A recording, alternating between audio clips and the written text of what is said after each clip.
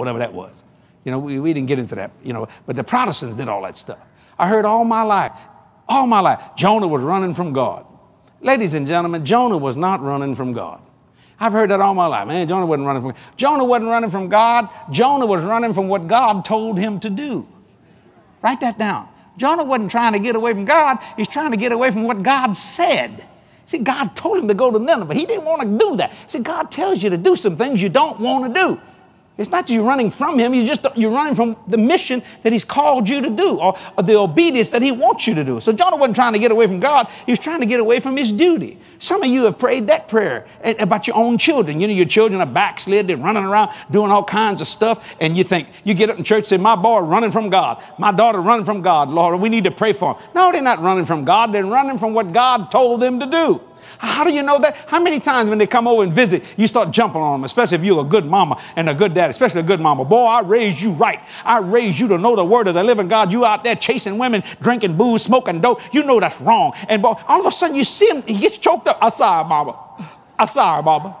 I mean, I, mean, I just can't live it, mama. I, I, I'm sorry, mama. Notice that the anointing of God's still there. He ain't running from God. He's just running from what God told him to do. Your child ain't running because you put that word of God in them. But you see what happens? That's why you, they get disturbed when you begin to tell them. And they go, I'm sorry, I just can't seem to do it or whatever. But why? That anointing is still present there, even though they may be in sin. They're not running from God, they're running for what God told them to do. Now, don't pray some stupid Pentecostal prayer. Here's one of them Lord Jesus, Lord, bring my boy back. Whatever it takes, Lord, I lay him on the altar, break his legs, knock his brains out. Jesus, he just like his daddy. Do whatever you can to him, Lord, but get him to the throne. You just gave license for the devil to break his leg, blow his brains out, and God get blamed for it. You don't pray that kind of stupid prayer. You pray this kind of prayer. Jesus, that boy's a fool just like his daddy was. Lord, I ask you to bless him, help him, bring him back, give him peace so he can see the fullness of who you are. My mother never prayed that kind of bad prayer on me.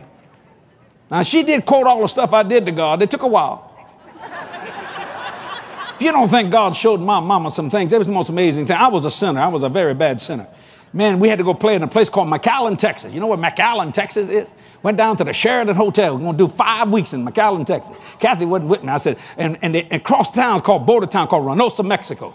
And that's where the border guy, where all, uh, you know, all the, uh, the ladies of the evening are. And me and my, my friend Jimmy, oh Lord, we just we just go down there chasing them Mexican. Lord, oh, oh Lord, I mean, just go nuts. I mean, it was bad. I'm in this joint. I mean, I'm telling you what, there ain't much clothes on nobody in there. Everybody drinking tequila, eating worms. You know, you the bottom of the bottle. You know, y'all know what I'm talking about. Y'all from California. y'all know what I'm talking about. Y'all some drinking, smoking dope people. Y'all know all that, man. All came, all came out of California. Well, where was Woodstock? California. Come on. Man, we just drinking. My name then was not Jesse Duplantis. Uh-uh, nobody understood that in the rock world. My name was Jerry Jaxon. We changed it. J-A-X-O-N. Look good in lights. Jerry Jaxon. And my Lord, a phone call came into Reynosa, Mexico, and that sleazy, no count, trashy bar with girls dancing nude on the tables. And man, me and Jimmy, woo, just drinking tequila. And some guy said, hey, Justin that hair. And Jimmy said, ain't your, ain't your name Jesse? I said, yeah. Jesse Duplantis here. Jesse Duplantis. I said, yeah, I, I am. Phone call. I, God is my witness. I stand on 47 stacks of Bible. I go, hello, and my mama said, you little heathen from hell. I see you there. The Lord showed me where you was. The Lord showed me. And I tell you, I'm going to call fire out from here. You and that cross-eyed crazy drummer, you get out of there. God's going to kill both of you. I said, okay, mama. Hung the phone up.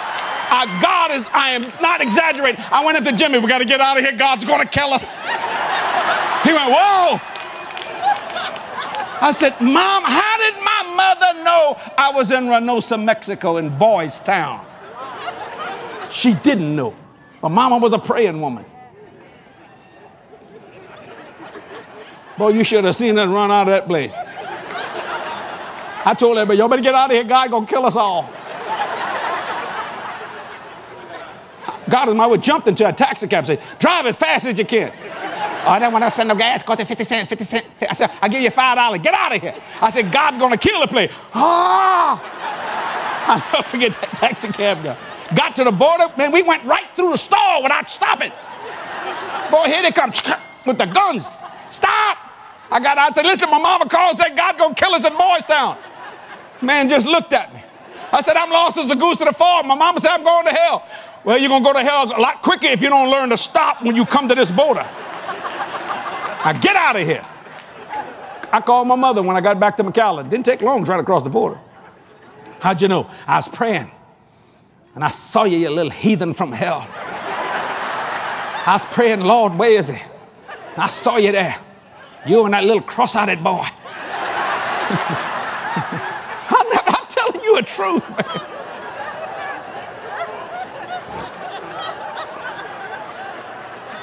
How can mama do that? Because her boat was clean. Mama didn't have nobody in her ship. Mama lived right. She lived right. She lived clean.